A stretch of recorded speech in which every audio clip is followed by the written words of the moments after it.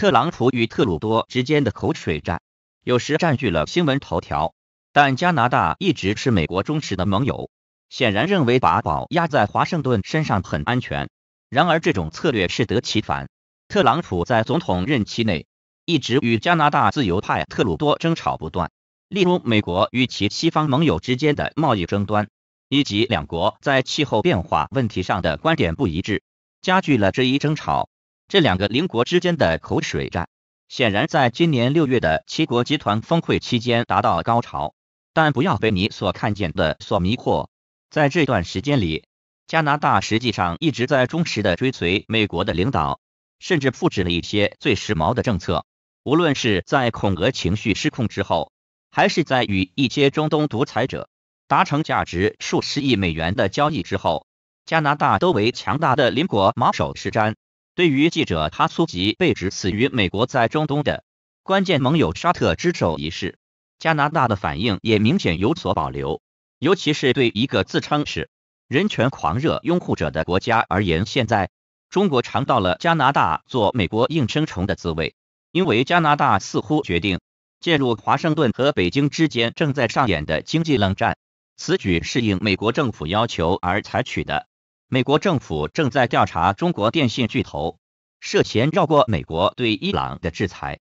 尽管调查至少自二零一六年以来一直在进行，但在此之前，有报道称，美国政府已着手一项任务，阻止其盟友使用中国电信巨头的设备，因为美国认为其设备存在安全风险。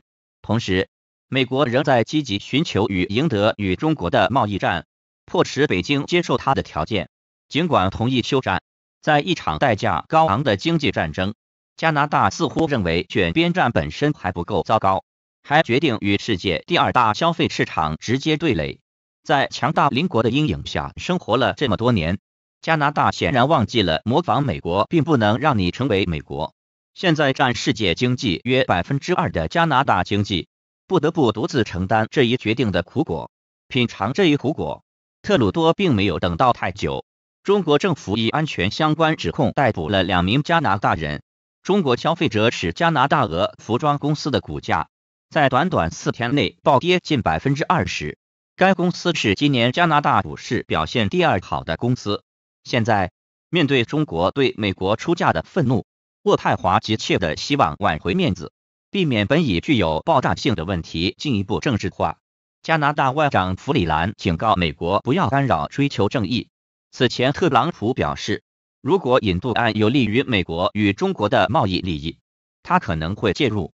然而，事实上这可能已经太晚了，因为加拿大已经把自己逼入了困境。不管法律诉讼的结果如何，他要么得罪华盛顿，要么得罪北京。加拿大走上了背离公平正义的道路，这是赤裸裸的绑架，跟司法毫不相干。它是有预谋的政治行动，是美国和加拿大动用国家权力。对一家中国高科技企业的政治追杀，他披着法律的外衣，荒谬的为美国的土匪罪行掩饰。由于美国是其唯一的大陆邻国，渥太华显然认为满足一个外国的利益就足够了。